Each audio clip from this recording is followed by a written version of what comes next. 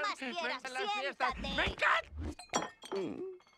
Me alegra el corazón ver a mi hija tan feliz, rodeada de amigos, familia y la comunidad. Pero no siempre fue así. Imaginad el viejo mundo. La abuela y yo fuimos los primeros en marcharnos al nuevo mundo, con la promesa de crear una comunidad fuerte y un futuro brillante. Viaje traicionero. Naturalmente, una ciudad tan grande tendría grandes cosas que ofrecer. Nos instalamos donde pudimos y nos pusimos a trabajar. La abuela abrió una panadería en nuestra propia cocina y hacía el reparto. Pero Zotrópolis tenía facetas que ni sabíamos que existían. Vámonos. La vida era dura. Lo que importa es el tamaño de tu corazón. ¡Abuela! Nunca te sentirás pequeña.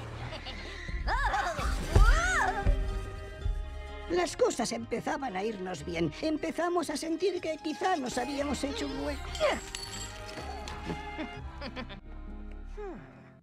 Hicimos inverosímiles amigos nuevos. Muchas gracias. Nos estábamos abriendo camino en el mundo.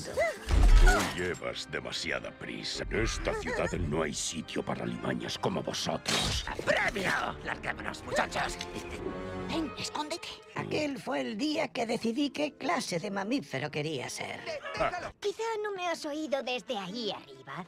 ¡Lárgate, roedor! ¡Oh, no! ¡Callejón sin salida!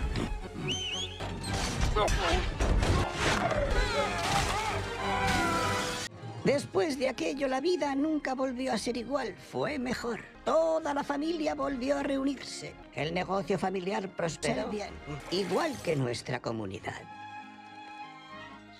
Creamos empleo para quien lo necesitaba. Juntos construimos Villa Roedora. Estoy muy orgullosa de ti. Os cuento esta historia por un motivo. La familia que tenéis, esa os hace ricos. Los amigos que elegís, esos son familia.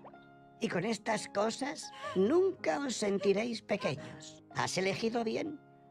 Y como le hagas daño a mi pequeña, date por congelado.